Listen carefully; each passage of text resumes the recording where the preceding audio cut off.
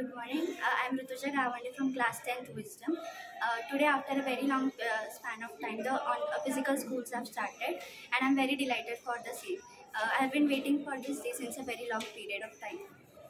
Today, I met all my teachers and all my classmates, and it's very nice to see all of them safe and sound and in the same energetic spirit. Uh, we have been attending online lectures in the last two years, uh, and it was the best experience as well. But the pleasure of uh, uh, online lectures could never match with the pleasure of offline lectures, and will never ever will.